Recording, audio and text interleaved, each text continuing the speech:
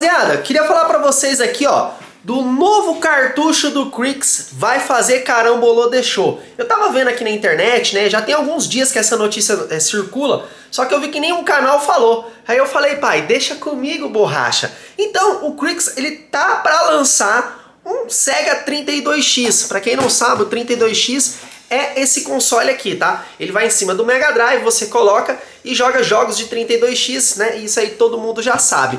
Mas colecionador, da onde você tirou essa notícia? Vem comigo aqui que eu vou mostrar pra vocês aqui no PC aqui, ó.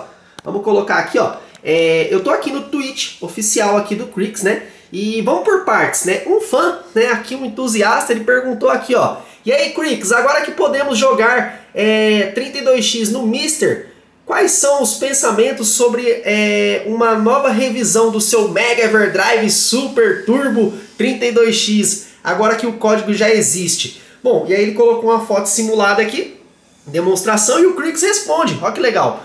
E aí o Crix aqui, ó, ele já falou, ó, como eu já tinha, é, como eu já disse antes, né? Não vou fazer monstros com entradas, saídas de vídeo, é, mesmo que já seja possível, mas eu tinha outros planos em torno do 32X e o que, que o Crix apresenta? Olha só, aqui, mano, já curte o Dom Gondê, se inscreve no nosso canal, deixa o like aqui agora, porque ó, olha só, ele apresenta aqui um cartucho que muita gente começou a comentar falando que era um Everdrive, era um novo Everdrive Pro. Inclusive aqui eu tenho o Everdrive X7 aqui bonitinho na minha mão, tenho aqui um Mega Everdrive Pro que ele trabalha com tecnologia é, FPGA, tá? E essa tecnologia ela possibilita rodar o Sega CD, que aí já é outro console, que é aquele que está ali embaixo ali bonitinho, né? Mas é, nenhum desses dois cartuchos, né, mostrando para vocês aqui, consegue rodar 32x. Para rodar 32x nesses cartuchos você precisa ter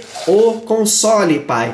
E aí, é, aparentemente, a galera pensou que seria um novo Mega Drive Pro, né? Mas não, não, não, não, não, não, não, não, não. Né? Tudo indica que pode ser aqui, ó, é tipo um cartucho adaptador, mais ou menos esse aqui. Esse aqui é um cartucho de ilustração. Até porque, se você for olhar nessa entrada do Crix aqui, ele coloca uns dentinhos aqui, pai. Olha os dentes aí, ó. Eu fiz até uma outra foto ilustrada aqui, ó, só pra vocês verem, ó. Já curte o Dom Bom Day e deixa o like aí, ó. O Crix ele pretende sim lançar um novo, Ever, é, perdão, um novo Sega 32X. Isso pode ser para suprir o mercado, né, é, pela falta ou pelo alto preço. Não sabemos quanto vai custar esse cartucho. Se esse cartucho só vai rodar Mega Drive 32X, se pode ter algum suporte especial, né? E aparentemente, né, essa já é a base, né? Mas eu tenho aqui, ó, um, um cartucho, cadê? Curtiu o Dom Bom Day aqui, ó. Deixa eu até colocar, ficar em pé aqui, ó.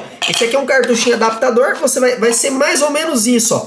Você não vai ter o 32X, você não vai precisar mais dele, beleza. E aí você vai colocar no Mega Drive esse adaptador do Crix, vai colocar um cartucho de 32X e vai rodar 32X no, no, no, no, seu, Mega, no seu Mega Drive aí, graças a esse adaptador. Né? Essa ideia veio para suprir o 32X console, tá? Pelo menos aparentemente essa é a ideia, porque eu nunca vi nenhum Everdrive que tem dente em cima. Então, Everdrive que tem dente em cima é, é adaptador. E adaptador é para colocar outro cartucho. Vocês não concordam comigo? Então, é, é, ficou bem interessante esse ponto de vista do Crix. E eu queria saber da opinião de vocês aí. Mas eu, eu acharia mais viável eles lançar um outro Everdrive que rodasse 32X sem esse negócio de adaptador. Ou então talvez o Crix queira ganhar um dinheiro em cima disso, né? Até porque ele manja, ele sabe fazer então ele põe o produto dele no mercado para vender. Mas agora eu quero saber da sua opinião.